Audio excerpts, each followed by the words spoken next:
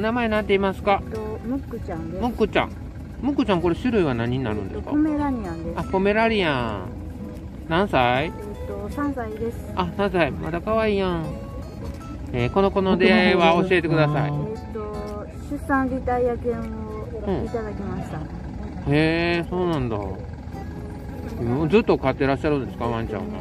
あちょっと他にも2匹いるんです。あ、いるんですか？はい。今日は？この子だけ？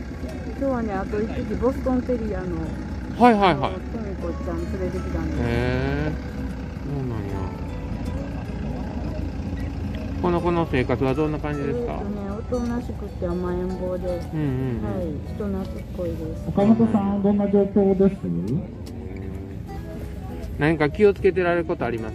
一緒に過ごしてられえて。ー、特にうん、大丈夫です大丈夫？うはーいん。お家ではどんな感じで過ごされてるんですか？とね人の膝の上に乗ってます。あ、そうなんですか。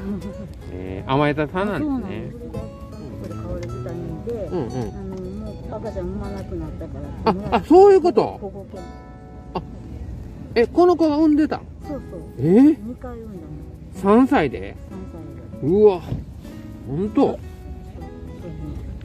ええかわいそう。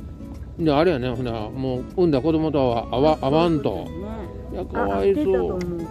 で子育て終わったからもうもらっちゃったええそうなんですか。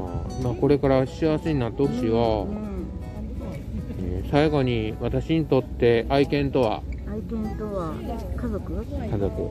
ありがとう。なんか助けていただいてありがとうね。よかったもっと幸せにならなあかんよ。よかったなあな。これからいいことあるよ、多分。ね。よかったよかった。はい、えー、大きい車両で。